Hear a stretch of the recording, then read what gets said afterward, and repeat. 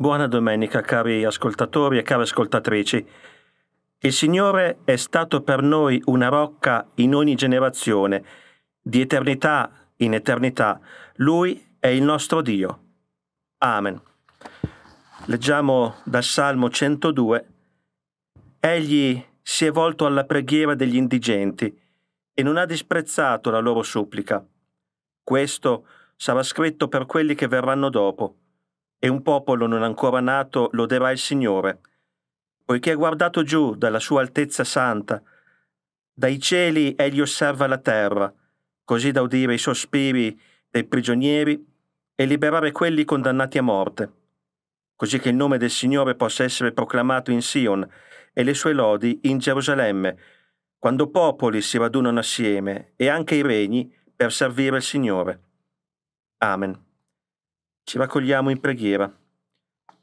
Signore Gesù, che guardi incessantemente il volto della gloria di Dio, tu che percepisci l'amore e l'agonia, lo splendore e l'ombra che proietta, aiutaci ora a essere parte di questo stesso mistero. Tu che ci tieni in uno sguardo d'amore dall'intensità appassionata, comprendendo tutto, perdonando tutto, riscattando le profondità delle nostre tenebre. Amen.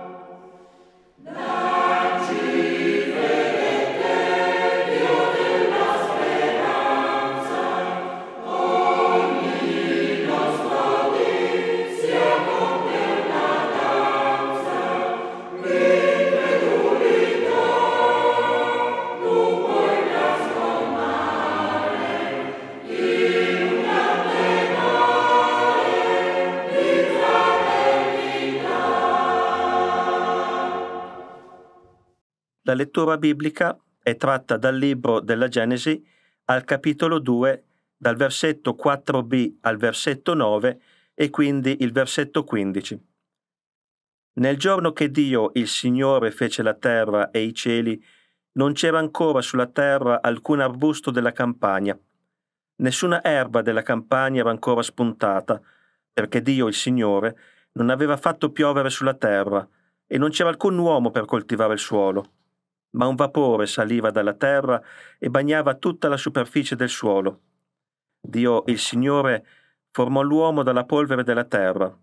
Egli soffiò nelle narici un alito vitale e l'uomo divenne un'anima vivente. Dio, il Signore, piantò un giardino in Eden, a oriente, e vi pose l'uomo che aveva formato. Dio, il Signore, fece spuntare dal suolo ogni sorta d'alberi piacevoli a vedersi e buoni per nutrirsi, tra i quali l'albero della vita in mezzo al giardino e l'albero della conoscenza del bene e del male. Dio il Signore prese dunque l'uomo e lo pose nel giardino di Eden perché lo lavorasse e lo custodisse. Amen. Caro ascoltatore e cara ascoltatrice, la creazione del mondo da parte di Dio, per me, è una bellissima favola. Ora immagino le vostre obiezioni. Qualcuno dirà che siamo davanti al racconto preciso, sin nelle virgole, di come il Signore ha formato e dato vita a tutto ciò che conosciamo. Altri protesteranno che si tratta di un testo impregnato di miti tipici dell'antico Oriente, mentre altri ancora riterranno che qui l'importante non è il come, bensì cosa l'Eterno ha operato. Cosa volete che vi dica? Il piccolo credente che è in me, davanti a questo racconto, si meraviglia come un bambino quando la nonna gli racconta una bella favola. Perché questi versetti ci dicono tante cose, ci comunicano che la nostra esistenza non è frutto del caso. In un universo costellato di milioni di galassie e miliardi di sistemi solari, non è per una semplice questione di probabilità che noi esistiamo. Perciò la prima caratteristica dell'essere umano è la sua creaturalità. Noi siamo figli e figlie di qualcuno. Secondariamente, Dio ha un progetto organico. Pensò all'essere umano, ma pensò pure a uno spazio nel quale potesse vivere e a un luogo che offrisse il necessario per il suo sostentamento. Infine, il Signore diede fiducia alla sua creatura e al contempo la responsabilizzò. Teologicamente potremmo affermare che gli rivolse vocazione. Dovrete convenire con me che fin qui è proprio una bella favoletta. Ma come in ogni fiaba che si rispetti, prima o poi arrivano i guai. Nel nostro caso, i problemi sono rappresentati dall'albero della vita in mezzo al giardino e l'albero della conoscenza del bene e del male. All'essere umano fu dato il permesso di lavorare e custodire il giardino di Eden, ossia, parafrasando a senso, di occuparsi dell'agricoltura e dell'allevamento. Dio non intendeva essere quel tipo di genitore che si prende costantemente cura di una prole considerata minorenne anche quando ha 40 anni, ma colui che mette i propri figli e le proprie figlie diventate adulte in grado di provvedere a se stessi autonomamente. L'essere umano, plasmato dalla terra, sulla terra trovò lo spazio e il nutrimento per vivere e nel lavoro accorto e responsabile di questa stessa terra trovò la propria occupazione. Se ci pensate, è una visione sorprendentemente laica dell'esistenza, dove l'indipendenza umana è sottolineata e apprezzata. Già, però ci sono quei due alberi. Possiamo considerarli come elementi di una visione del mondo arcaica e superata, ma dobbiamo cercare di comprendere la loro importanza nell'economia del racconto. Se non vi fosse stato un divieto, non sarebbe stata possibile la trasgressione. Forse dovremmo concentrarci, invece, su che cosa positivamente quegli alberi significano per noi l'albero della vita, ci fa comprendere che l'essere umano non era immortale e quello della conoscenza del bene e del male ci avverte che i nostri progenitori non erano onniscienti. Suona familiare? Abbastanza, direi. Gli uomini e le donne, che pure hanno la capacità di generare la vita, rimangono creature, hanno dei limiti e devono rispettarli. Ma Adamo ed Eva, mal consigliati, vollero andare oltre. Ora è vero che bisogna sempre progredire e alzare l'asticella. In campo sportivo, per esempio, i record sono fatti per essere superati, mentre dal punto di vista psicologico gli adolescenti devono, diciamo così, uccidere i propri genitori. Ma vi sono territori nei quali ci inoltriamo a nostro rischio e pericolo e dai quali non si torna. I due alberi rappresentano tutto questo e in fondo, Dio non potrebbe essere il nostro Padre celeste se oltre ad averci creati e ad aver reso possibile la nostra esistenza, non ci avesse pure messi in guardia da tutto quello che può nuocerci. La riprova l'abbiamo nei cambiamenti climatici dei quali avvertiamo in modo sempre più drammatico gli effetti. L'essere umano ha tradito la fiducia del suo creatore, ha abusato della sua posizione e ha dominato e sfruttato una natura della quale invece avrebbe dovuto prendersi cura amorevolmente. Nella loro ansia per il domani, gli uomini e le donne hanno, a dire il meno, esagerato. Come affermò Gesù Cristo, il Padre vostro celeste sa che avete bisogno di tutte queste cose.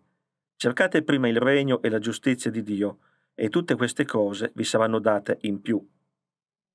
E cosa può significare cercare prima il regno di Dio, se non cercare di vivere riconoscendo la propria creaturalità, i propri limiti e il proprio posto nel mondo.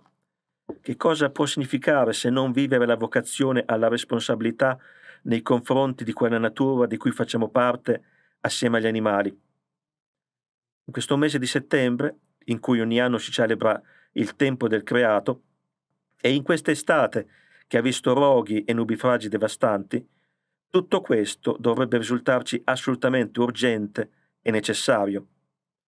Presto, infatti, la domanda angosciata che mondo lasceremo ai nostri figli potrebbe essere sostituita da un interrogativo assai più drammatico. Ci sarà ancora un mondo per loro?